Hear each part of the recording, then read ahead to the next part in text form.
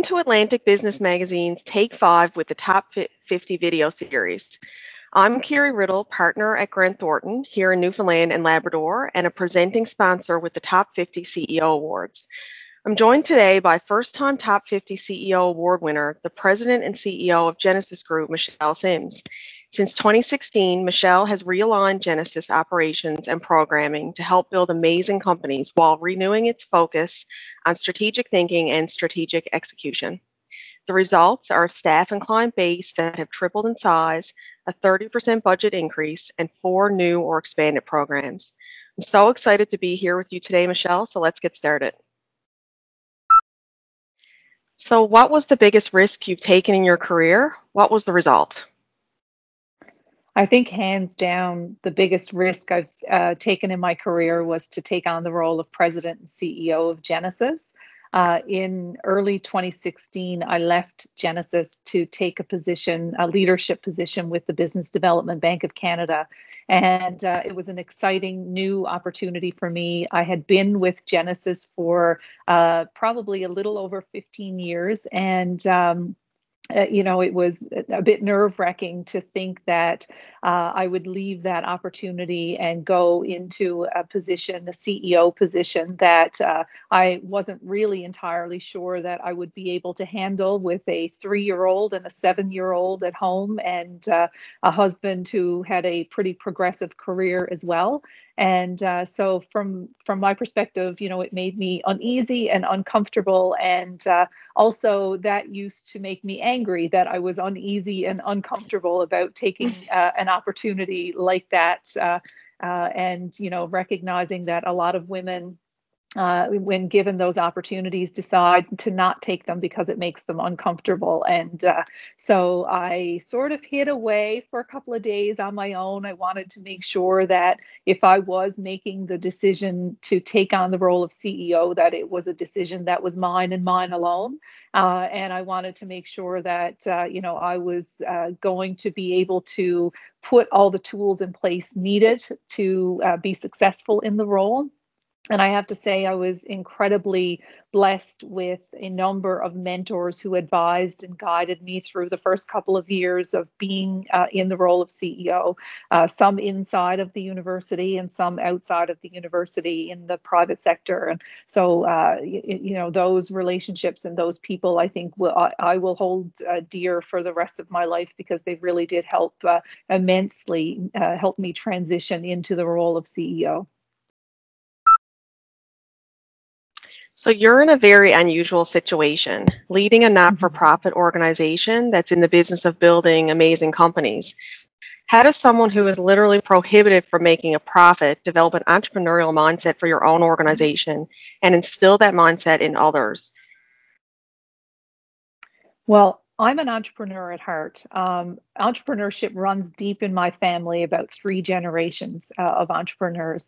And uh, when I look around the the virtual boardroom table these days at Genesis, but when I look around the boardroom table at the colleagues that I have uh, and the team that I have at Genesis, they're all entrepreneurs at heart they're all people who are incredibly passionate about their community, about making the world a better place, and about the economy of Newfoundland and Labrador. Um, they're all people who are, uh, you know, who drive every day to make Genesis better. Uh, and you know, when I think about that, I think that's the trait of entrepreneurs. I'm very happy to say that a number of the people on on staff at Genesis, probably about a third of the people on staff at Genesis, have their own businesses as well on the side, uh, and that's something that. Um, you know, I, I, really appreciate, and I think it, it is a good thing for Genesis. I think it's uh, it's great when they go talk to a client uh, that they understand uh, the position that the client is in. They understand, uh, you know, how important making payroll is, and they understand how important it is to have that runway to grow the business or to, you know, make the the sales. And and I think uh, as a result, our team works harder and pushes harder uh, because of that. So you know, while many of us are not entrepreneurs, I think everyone on the team at Genesis is intrapreneurs. And uh, I think that's the culture we've built and certainly the mindset that we've created uh, around the table. What do you see as the most profitable opportunities for emerging businesses, and what can aspire entrepreneurs to take advantage of those opportunities? So, as we've just seen in the last 12 months, COVID 19 has had a dramatic impact on the uh, bas- basically every industry on the planet, from home care to education to um, you know how elections are run to um, uh, you name it really grocery shopping has changed. How we go to restaurants and interact with people has changed.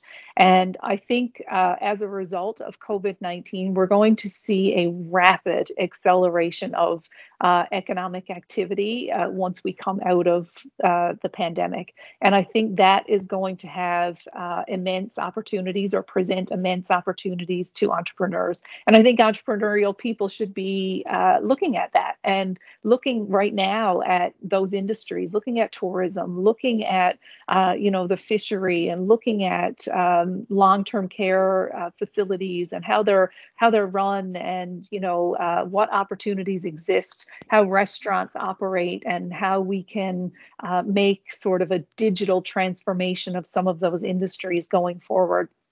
I think uh, there is going to be an incredible opportunity coming out of this. And I really do think it's going to happen fast. Uh, we've seen in the last 12 months how fast we've all adapted to new technologies.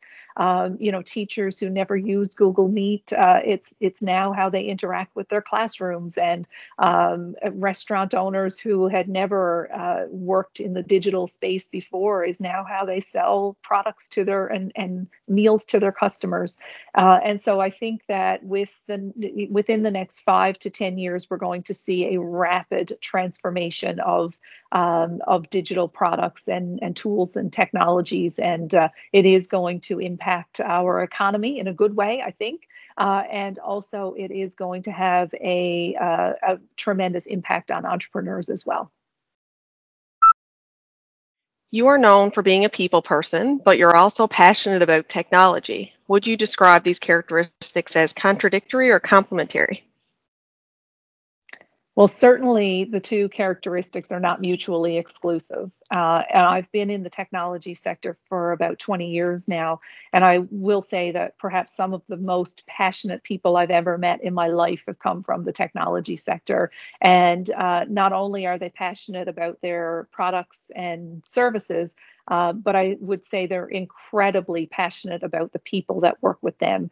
Uh, they and that really is the essence of most of the tech companies and and their businesses is the people, and that's evident when you walk in the door and you can see how they treat their employees, uh, how you know vacation is uh, is handled with their employee base, uh, how they feed them uh, during lunch. Most tech companies in the city provide lunch uh, now, virtual lunch to their uh, to their teams. Um, they are very focused on ensuring that the entre- that the employees, sorry, have a um, a, gre- a really great workspace to work from that they have um, uh, you know passion projects that they can uh, can work towards and that they're also working on something that is greater than uh, than them. Uh, so for for example we have uh, clients and graduates at genesis that are working on food insecurity issues that are working on climate change issues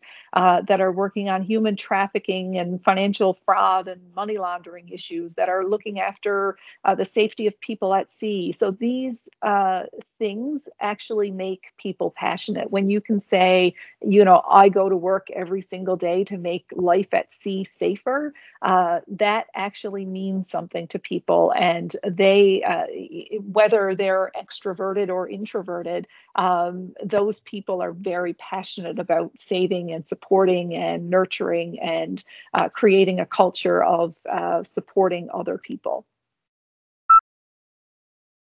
You lead through strategic engagement. What does that mean?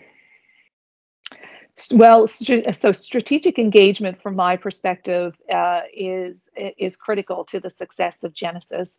Um, you know, as a CEO, I am tasked with um, writing and uh, and providing the strategic plan for the organization, and uh, you know, the board of directors looks to me to pull that uh, information together and put that plan together.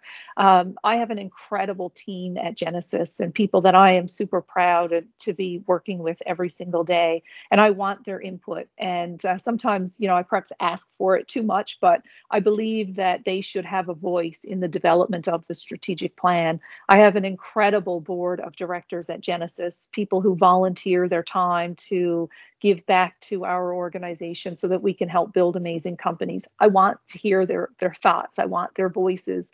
Uh, and you know, we have a, a tremendous amount of stakeholders uh, at Genesis. People you know every everything from investors to the university community to um, strategic partners to service providers. I want to hear their input and thoughts on how we can grow uh, the entrepreneurial community how we can grow the technology community. And i think it's it, it's that it sort of strategic engagement that allows genesis and enables genesis to collect all those voices, to hear from all those people, and then ultimately to make the right decisions about where and, and how we go forward uh, and what that strategy looks like. And so, for me and from my perspective, uh, strategic engagement is is critical to the success of our organization.